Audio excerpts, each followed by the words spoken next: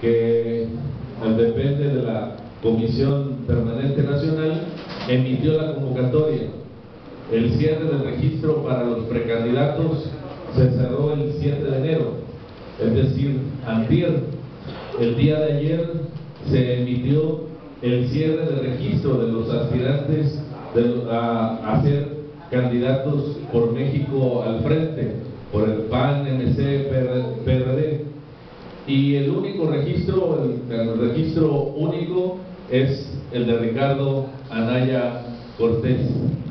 Estamos ahorita en esta etapa donde los registros han quedado ya debidamente validados con solo un registro. El proceso no se detendrá, los militantes tendrán que elegir al próximo candidato o al candidato del PAN y en consecuencia el candidato de la coalición por México al frente el día 11 de noviembre por el voto directo de los militantes, para lo cual, se, perdón, 11 de, 11 de febrero,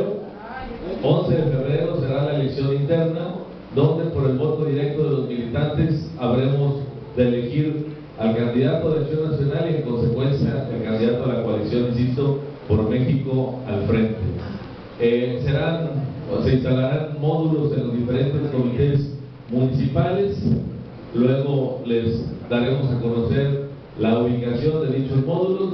tentativamente será en las oficinas que tienen los comités directivos municipales en los diferentes municipios,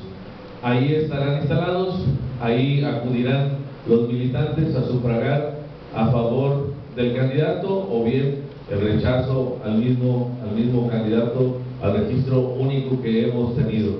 Es decir, al día, ese mismo día en la noche, el día 11, pues tendremos los resultados y habrá candidato, insisto, del PAN y por México al frente. Esa es la parte de la etapa en la que estamos. Eh, estaremos informándoles a ustedes y para en esta etapa de la pre-campaña, pues obviamente nos congratula, la verdad que estamos de manteles largos porque nos visita esta semana nuestro precandidato Ricardo Anaya Cortés, por lo cual